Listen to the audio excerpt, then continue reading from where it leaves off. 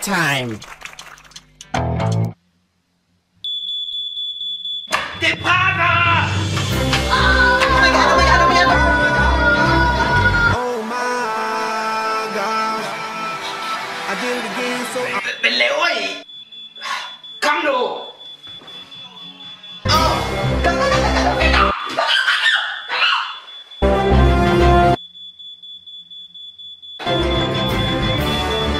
Oh.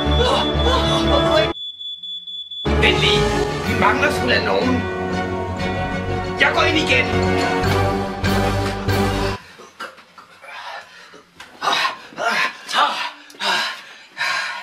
Sådan der. Venlig. Hvor er Morten? Åh, oh, pis. Det betyder, at jeg aldrig får mine 20 kroner, som jeg skylder mig. Vent lige! Har I glemt? Har I glemt?